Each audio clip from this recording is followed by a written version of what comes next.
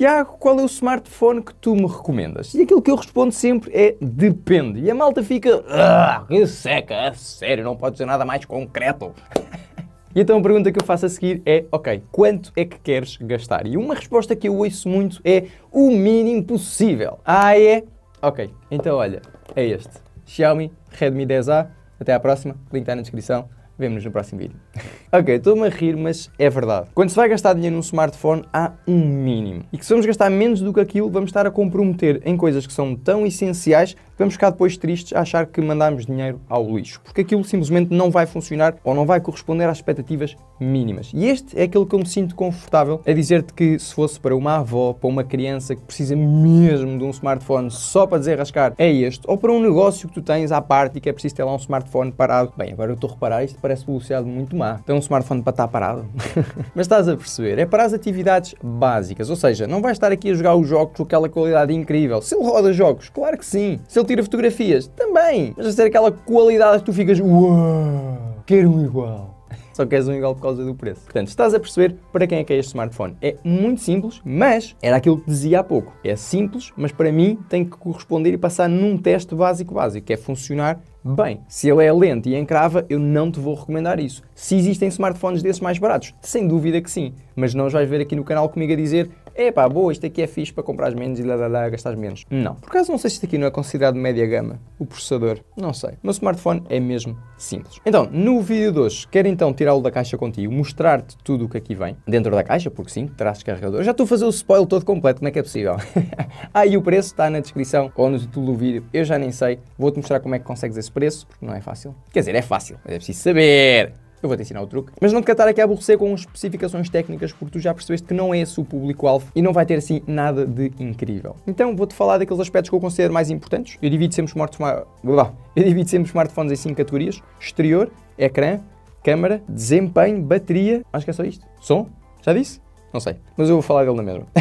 Por isso, maltinha, vamos a isso. Mas antes, queria só deixar um agradecimento muito rápido ao patrocinador do vídeo de hoje, a Doji, que é uma marca que já deves ter visto aqui no canal, tem smartphones direcionados a um público diferente. E hoje queria falar-te aqui do S100. Como estás aqui a ver, tem claramente um design assim mais robusto, por ser assim mais resistente, mas quer ter também as características mais importantes, tipo Wi-Fi 6, um ecrã grande de 6.6 polegadas e que seja fluido 120 Hz uma boa câmara primária de 108 megapixels, porque se é para usar fora de casa, então convém ter uma boa câmara para captar bons momentos. Um processador também média gama, o Helio G99, que vai conseguir correr tudo aquilo que nós fizermos. 12 GB de RAM, vai dar para os jogos todos, vai ter bom som em cima e em baixo, o que faz com que a experiência multimédia, a ver um filme ou jogar um jogo, seja impecável, com muitíssima bateria. Portanto, para quem valoriza estas especificações todas, vai gostar de ir ao link na descrição, conhecer aqui o novo Doji S100, que é realmente uma máquina muito interessante para quem valoriza estas vantagens. E agora sim, maltinha, sem mais demoras, roda a intro!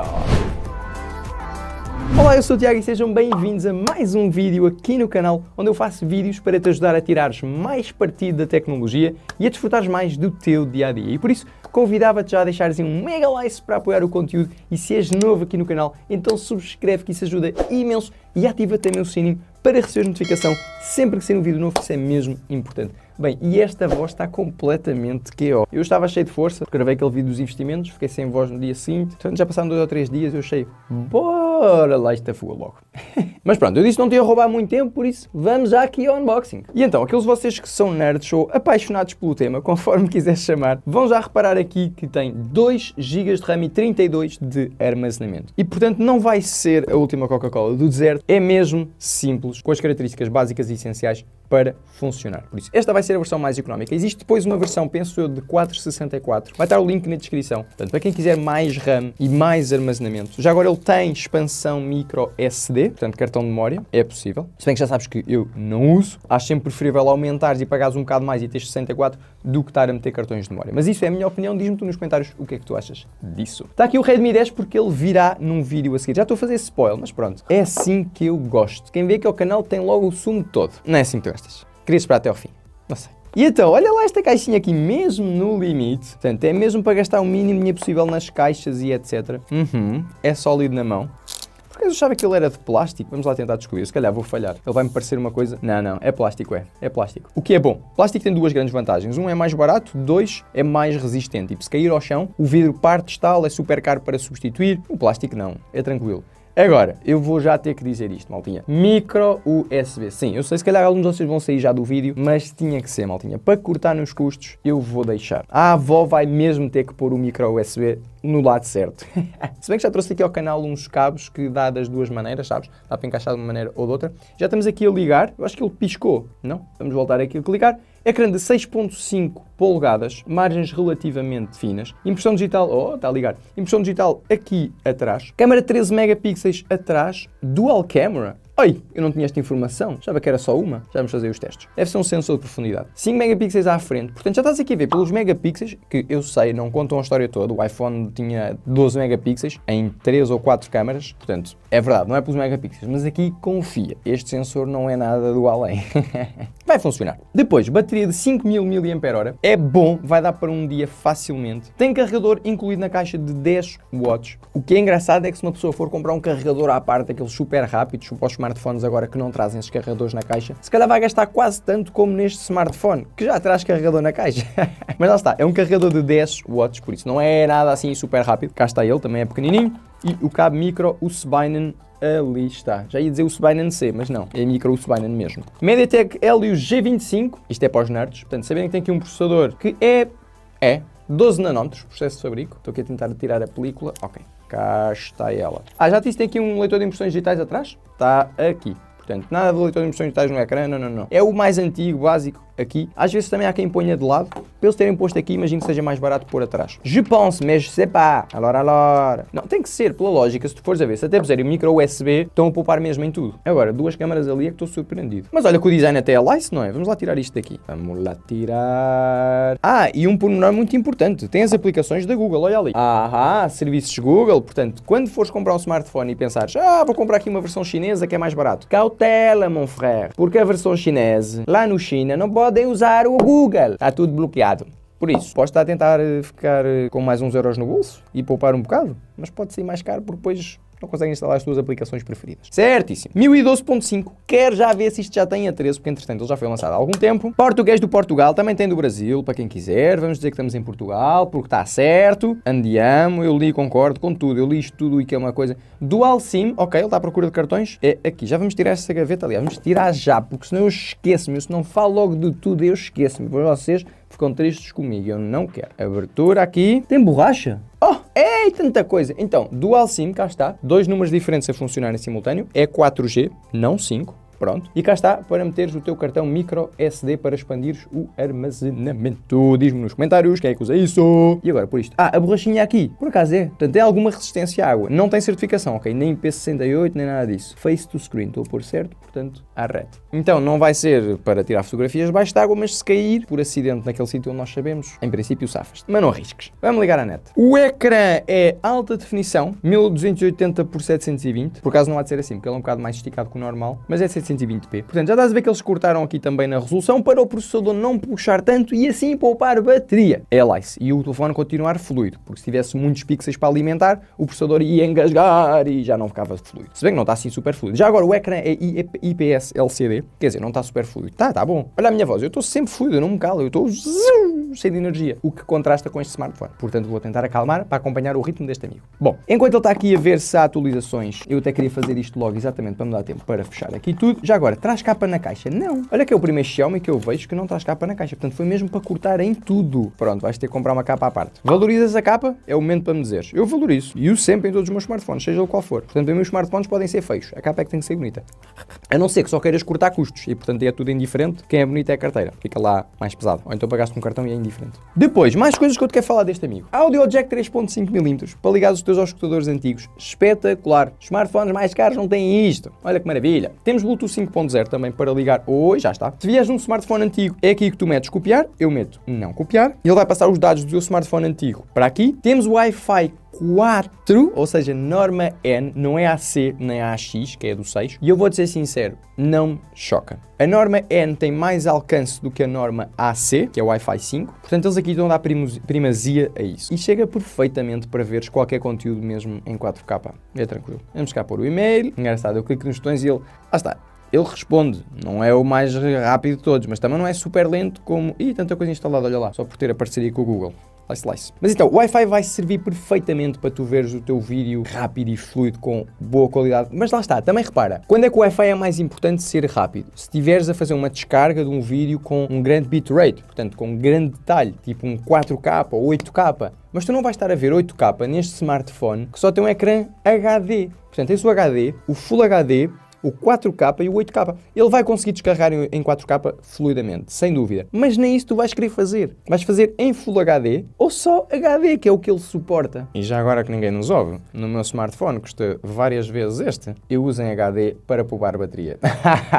eu sei, eu sei, mal estava cá toda nervosa, dizia, ah, como é que é possível? Mas é, eu valorizo para mim é a bateria, é uma coisa super importante. Não me interessa tanto a qualidade de imagem, eu quero que ele funcione, que seja rápido e que dure muito tempo. Então eu baixo a resolução. Isto para te dizer que 720 no YouTube, chega. Às vezes gostava de ter mais qualidade, às vezes gostava, mas chega. O essencial. Cá está, desbloqueio por impressão digital aqui atrás. Localização, lá lá lá, bu, bu, bu. Aqui o estilo é o clássico ou a gaveta de aplicações, que é aquela que... É, eu gosto da gaveta, por acaso. Configuração concluída. Mais coisas. Temos GPS e GLONASS, não tem Galileu, que lá está, vai servir para saberes onde é que estás. Não vai ter os novos sistemas de satélite, não sei o quê, certo. E para quem quer gastar o mínimo possível, isso é importante? Não. Vai funcionar o GPS, não vai? Vai. É isso que interessa. Até tens 4G, está ótimo. E eu nem uso 5G no meu, também vou poupar a bateria. E uso só 60 Hz, também vou poupar a bateria. E ele tem 120, mas eu não uso, porque senão nem metade do dia me durava, se calhar, não sei. Um dia não dura, já não dura agora, quanto mais. Rádio, em princípio, não tem. Emissor de infravermelhos também não, portanto a Xiaomi cortou em tudo que não é essencial e que muitas vezes costuma ter nos smartphones média gama. Não acho nada mal, vou-te ser sincero, acho que tem um público-alvo muito específico, que são aquelas pessoas que utilizam o smartphone de uma forma muito básica, querem gastar o mínimo possível e a Xiaomi deu essa opção. Se fosse incluir todas estas coisas, o smartphone ficava mais caro e portanto deixava de cumprir aquela missão de ser o mais barato que as pessoas podem comprar e que seja bom. Porque repare, este é o Redmi 10A, eu já tinha trazido o Redmi 9A ou o 8A, portanto agora também já me baralho um bocado com os nomes, mas eu já tenho trazido aqui Redmi há muitos anos. E têm sido estes que eu mais tenho recomendado pelo preço. Aí o Redmi 4A fez grande sucesso. Estou-me a lembrar Redmi, o Redmi 4 só. Enfim, funcionava, não era super rápido, mas cumpria o essencial. Não tem NFC para pagamentos contactless, lá está, não é o que tu procuras. Parece negativo eu estar aqui a dizer isto, mas não, é só para te explicar as diferenças entre um smartphone que é mais caro para este. Não é que ele seja ranhoso, ele é bom, porque as pessoas podem pensar, ah, isso é barato, é mau. Não, no que ele tem, faz bem. Processador, está bom. A câmera, certo. Selfie, uhum. Fingerprint atrás, leitor de impressões digitais. Uhum. A bateria é grande, simplesmente não vai ter os outros extras todos que fazem o preço aumentar. Dá-te a fazer confusão, a minha voz estar assim.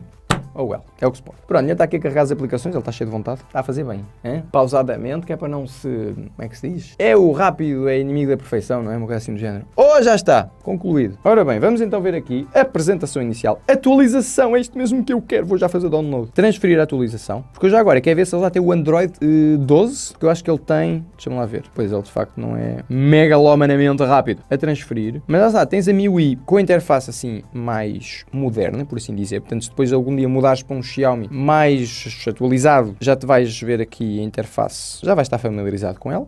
Portanto, Android 11. E agora vamos ver aqui se ele tem o Android 12. Está aqui a transferir. Já agora, dizer-te que o som sai aqui de baixo, apenas e só, portanto, não vai sair aqui de cima, não tem som estéreo, que lá está, não é para ter. Reforço, para quem quer gastar o mínimo, é isto. Para quem quiser o mínimo, mas com um bocadinho mais de qualidade, ou seja, assim já com alguns pormenorzinhos a mais, pronto, se calhar poderá fazer sentido o Redmi 10. Olha, cá está ele. Redmi 9A, o smartphone mais barato. É isto. Há dois anos. Sabias que a pergunta que mais me fazem... Estás a ver? Funciona. Qualidade. Vamos aumentar a qualidade. Ele está a fazer... Olha, 1080p, portanto... Ele nem sequer permite pôr em 4K. Ai, não estavas a ver bem. Deixa-me aumentar aqui o brilho. Estás a ver? Super fluido, aqui com o vídeo Full HD. O som é alto. É bom até, até gosto. Olha lá, funciona muito bem, espetacular. Pronto, vamos tirar daqui o Ramoid. O que nós queremos é fazer aqui as atualizações para ver para que versão é que ele vai. Mas tens aqui as aplicações todas da Google, não é? Google Fotos, YouTube, na Play Store instalas o que tu quiseres. Ah, a câmera. Já agora, vamos ver isso enquanto ele faz aqui a transferência e ver se nós somos mais rápidos do que ele. Só quer perceber o que é que é o sensor que está ali atrás. Pois, é isso. É o modo retrato. Bem me parecia. Que é para efeito de desfoque. Eu aceito tudo. Portanto, este sensor que está aqui atrás deve ser aquele ali pequenino, não é? Deixa-me lá ver. É. Estás a ver? O primeiro, o principal, é aquele ali. Portanto, o outro é para o efeito de profundidade para ajudar a fazer aquele efeito de desfoque, o bokeh. Eu não vou estar aqui a fazer fotografias de teste por um motivo muito simples. Para, com 13 megapixels num processador destes, não há milagres. Não é um smartphone que tu vais tirar para fotografias. Se quiseres isso, vais ter que gastar um bocado mais, por exemplo, aqui no Redmi 10. Vídeo brevemente. Já agora vamos tirar aqui uma fotos. Ah, eu quero saber se ele tem modo noite. Isso aí é que me interessa. Ele vai gravar vídeos em Full HD, selfie de 5 megapixels, pronto. Olha, para, dá para ler, dá para ver. Então não vai ser o mais incrível, mas vai dar para captar o momento. Vídeo. Estava até a dizer-te que dá para Full HD a 30 frames por segundo. Depois, mais, será que tem modo de noite? Tem modo de noite ainda por cima. Malta, incrível. É o que se pede por este preço, não, não, mais nada. Tens aqui a máscara da Xiaomi. Portanto, vai ter o que o algoritmo da Xiaomi de processar fotografias em modo noturno. Portanto, ele vai demorar aqui alguns segundos, estás a ver? É isto. Pronto. Aqui não vais notar grandes melhorias, que já aqui há luz suficiente. Portanto, não gravem 4K, não vale a pena perguntarem se tem estabilização ótica de imagem, não. Já agora, câmara de selfie. Olá! Pois, é, é muito simples, malta. Mas lá está, dá para perceber que sou eu. Olha, sou eu mesmo. A atualização já está, ok, está a tratar. Vamos dar aqui uns minutos para instalar a atualização e depois então ver se ele já tem o Android 12 e a MIUI 13. Eu quero acreditar que sim, que ele vai pelo menos receber o Android 12 e a MIUI 13. Se vai ainda receber Android 14, não sei. E a MIUI seguinte também não sei. Mas pelo menos já tem as atualizações de segurança até dezembro de 2022, o que me faz ter esperança que a seguir a esta não há mais nenhuma atualização, porque às vezes é chato isso nos smartphones. Pelo menos no meu acontece. Obriga-me a fazer mais do que uma, no caso de eu ter várias em atraso. Eu gostava que ele fosse logo para a final, mas deve haver uma lógica e, portanto, ok, eu espero. Portanto, é isso. Vamos esperar. Pontos Bob, dá-nos uns minutos. Até já. Portanto, vai instalar aqui, reiniciar e já vamos ver que versão é que ele tem. A few moments later. Obrigado, SpongeBob. Já fez aqui a atualização. Como estás aqui a ver, então temos o Android 11. Por isso, optaram por não colocar já o Android 12. Não sei se depois vai sair essa versão mais para a frente. Achei curioso falarem aqui de que esta atualização teve logo o patch de segurança de julho. Este smartphone saiu em março. Teve também o de setembro e o de dezembro. Portanto, foi as atualizações todas de uma vez. Calma, ele está aqui a fazer uma atualização. Ah, não, não, não. Ok, estava a ficar assustado. Verificar atualizações e ele vai dizer-nos que está terminado. Eu penso que sim, que no futuro terá pelo menos uma atualização para o Android 12 e a MIUI 13. Mais do que isso, tendo em conta o tempo que já passou desde que ele foi lançado, é provável que não. Achava mesmo que ia ter duas atualizações grandes. Já agora podemos ver o Redmi 9, mas o Redmi 9 também já não está a receber a nova, portanto. Pois é que é Redmi 9A. Ah, eu acho que isso tem que também ter sido Ai, pois, mas estou a dizer que, pois, o Redmi 9 é que teve, pois, o Redmi 9A saiu com o Android 10 e teve o 11. E teve a MIUI 12.5, portanto, a versão seguinte. Portanto, eu acredito mesmo que este aqui vai ter uma atualização nesse aspecto. Mas lá está, quem gasta este dinheiro num smartphone não é por estar à espera de ter as atualizações todas e para muito tempo. Não, quer uma máquina que funcione. E também uma coisa tenho a dizer-te, qualquer que seja o smartphone ou equipamento ou marca ou o que for, não faças atualização, ou melhor, não posso dizer isto. Eu não faço atualizações a não ser que tenha algum bug. Pronto, assim não estou a dar nenhuma recomendação. Faz aquilo que tu achares melhor. Na minha experiência pessoal, das várias marcas, e poder dar-te uma lista toda daquilo que já me aconteceu com muitas marcas, bugs trazem updates. Por isso, só faça update se tiver mesmo que ser. Por isso, se o teu smartphone estiver a funcionar bem, não vejo motivo para fazer update. Portanto, se este smartphone fosse meu e tivesse a funcionar bem, não iria sentir falta nenhuma do update. Quando eu o compro, eu compro por aquilo que ele é hoje e não pela fezada do que vai ser no futuro de atualizações e de novas versões. Se funciona bem hoje, por mim, tá bom. Mas pronto, diz-me tu nos comentários o que é que tu achaste deste smartphone, se para ti faz sentido ou se há coisas aqui que tu gostavas que fossem melhoradas e que, portanto, tivesse que ser outro smartphone, mas que aspectos são esses? Que é para eu também trazer um vídeo sobre esse smartphone que tu achas que faz mais sentido pelo preço. Ah, como é que isto fica a este preço maravilhoso? Está no título ou na descrição. Basta ir ao site, colocar o cupom de desconto que lá está e é tão simples quanto isso. Link vai estar na descrição então, maltinha. O meu não parou na alfândega, já agora já sei que algumas pessoas vão perguntar. E agora sim, adeus, até ao próximo vídeo e vemos neste que aparece aqui em baixo sobre casa inteligente. Até já!